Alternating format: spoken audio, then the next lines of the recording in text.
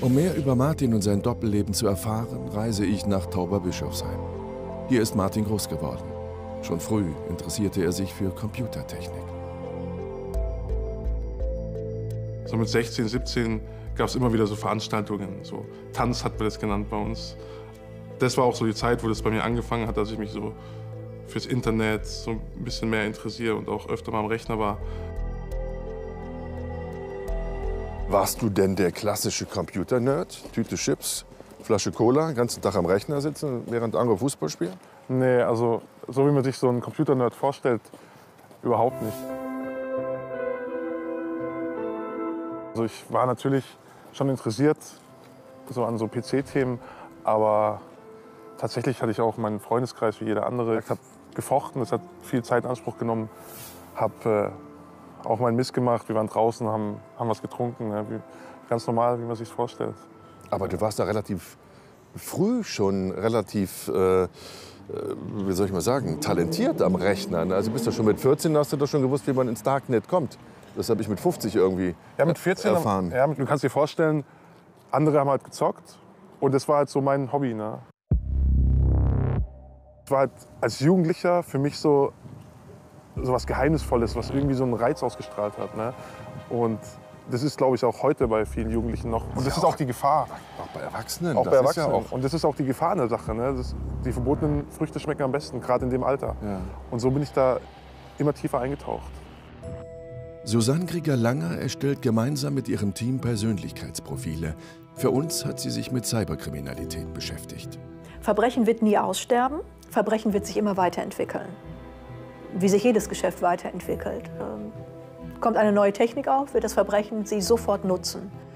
Und Cyberkriminalität hat in den letzten fünf Jahren nicht um zwei, nicht um 20, nicht um 200, sondern um 2000 Prozent zugenommen. Äh, Aber alle die, die nicht dran sind, merken das gar nicht, weil es wie eine Parallelwelt ist. 41 Millionen Euro allein durch Drogenverkäufe soll Martin mit seinen Komplizen im Darknet umgesetzt haben. Darknet.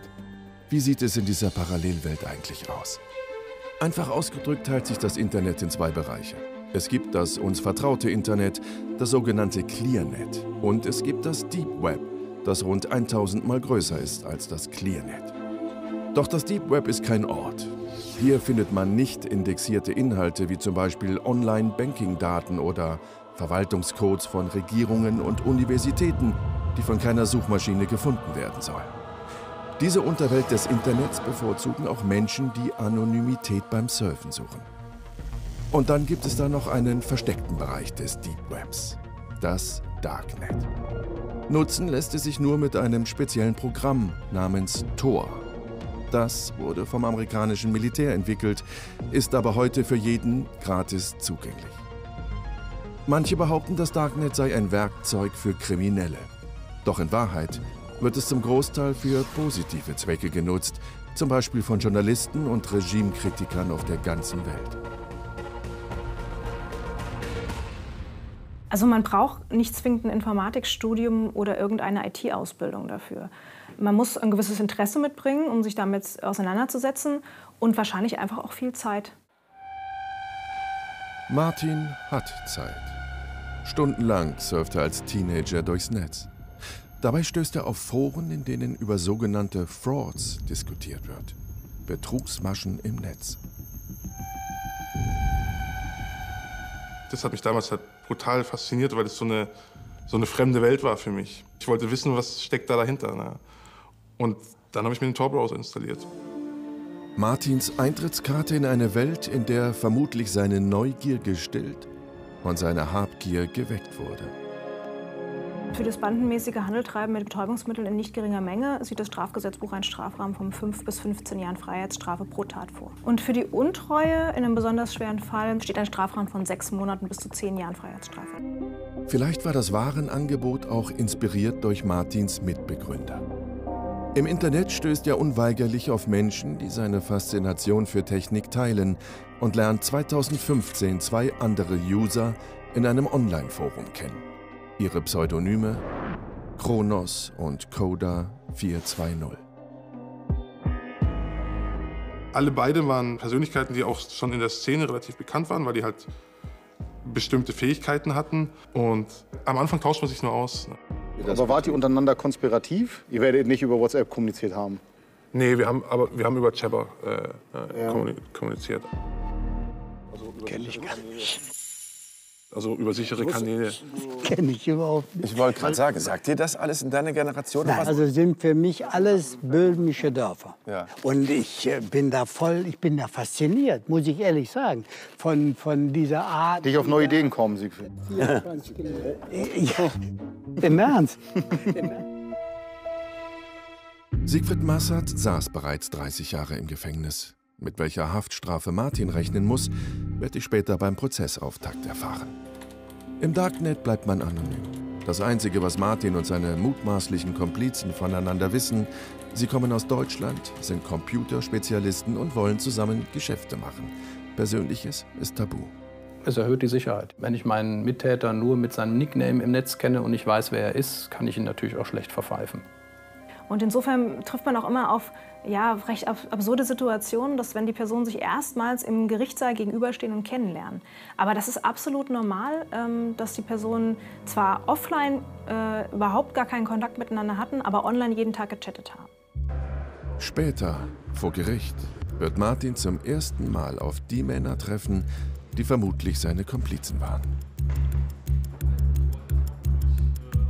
Einen Mitbeschuldigten habe ich einmal kurz gesehen vom Haftrichter und den anderen bis heute noch gar nicht. Und ja, das ist extrem komisch, die jetzt heute zu treffen. Ne?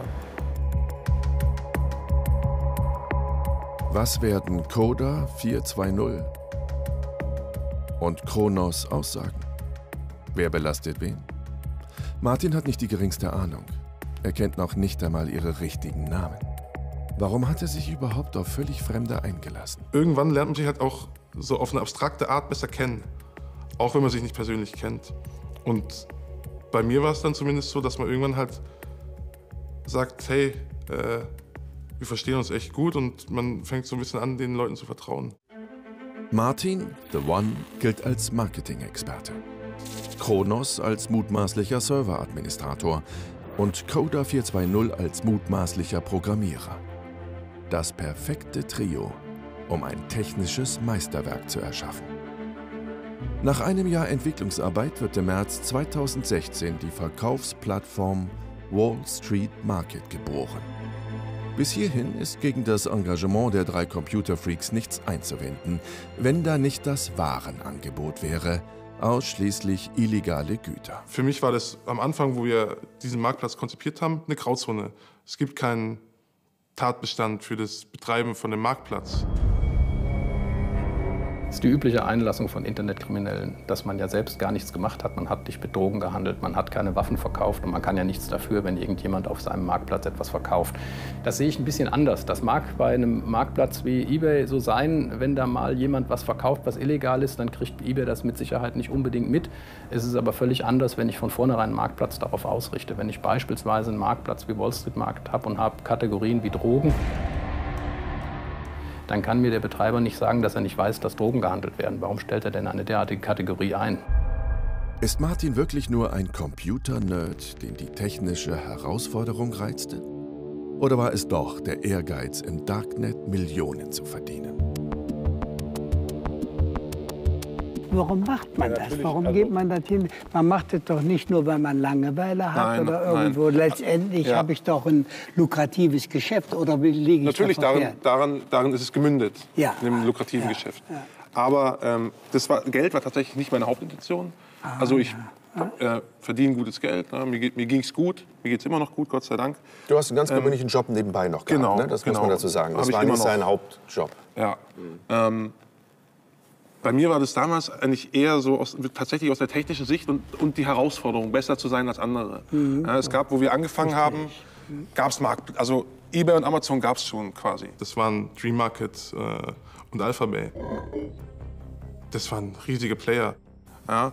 Und wir haben dann angefangen zu entwickeln mit der Absicht, besser zu sein. Ja? Zu dem Zeitpunkt hat aber keiner von uns gedacht, dass das jemals so groß werden wird. Aber ihr hattet es geschafft, das muss man echt mal sagen, weltweit der zweitgrößte Anbieter zu werden. Ein Unternehmen dieser Größenordnung aufzubauen, bedeutet intensive, jahrelange Arbeit und jede Menge zufriedene Kunden. Wie hat er das geschafft? Also es ist schwer zu sagen, welche Faktoren alles eine Rolle spielen, dass sich ein Marktplatz so gut entwickelt und so floriert. Aber mit Sicherheit war eine der Besonderheiten bei Wall Street Market, dass es eine sehr, sehr große Kundenfreundlichkeit gab. Also man war auch sehr darauf bedacht, dass eben keine betrügerischen Angebote bei Wall Street Market auftauchten. Und insofern wurde auch sehr genau beobachtet, wie die Verkäufer agieren, wie die Bewertungen sind, ob es möglicherweise Beschwerden gibt dass, darüber, dass man die Ware nicht erhalten hat. Und insofern war das alles sehr, sehr professionell organisiert. Wir haben dann angefangen, dass, dass wir mehr User gekriegt haben und dass dass so die, die Aufmerksamkeit auf uns gerichtet wurde, wo dann ähm, Alphabay down gegangen ist. Und richtig groß ist dann erst geworden, als, äh, als Dream Market offline gegangen ist. Martin wollte besser sein als andere und interpretiert das als Zeichen seines Erfolgs. Während der Zeit, wo das gelaufen ist und dann auch so, so groß geworden ist, da würde ich lügen, wenn ich sagen würde, dass man da nicht stolz drauf ist, was man geschafft hat. Doch ihre Konkurrenten sind nicht ohne Grund verschwunden. Sie wurden vom FBI hochgenommen.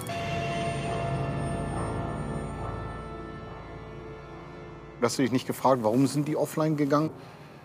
Man, ich ich habe das in irgendeine Ecke geschoben. Ja. Ich wusste natürlich, das kann nicht ganz legal sein.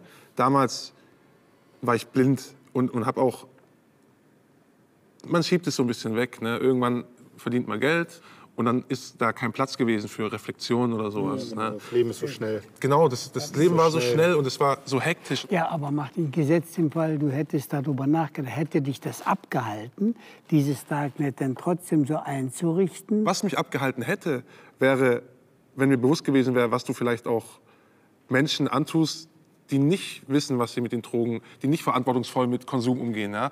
Weil dafür bin ich natürlich auch mitverantwortlich.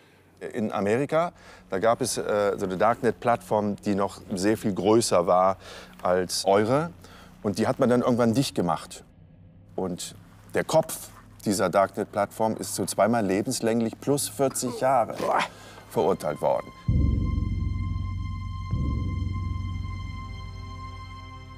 Ross Ulbricht ist zu diesem Zeitpunkt 29 Jahre alt. Genauso alt wie Martin, als er verhaftet wurde. Ross wird das Gefängnis höchstwahrscheinlich nicht mehr lebend verlassen, denn das US-Gericht fällt das Urteil ohne die Möglichkeit einer vorzeitigen Haftentlassung. Auf Martin hat das keine abschreckende Wirkung. Er arbeitet weiter akribisch daran, seinen Marktplatz zu perfektionieren. Wenn man das geschickt macht, und in dem Fall muss man sagen, wurde das sehr hochprofessionell betrieben, dann kann man auch in dem Bereich sehr, sehr lange unentdeckt bleiben.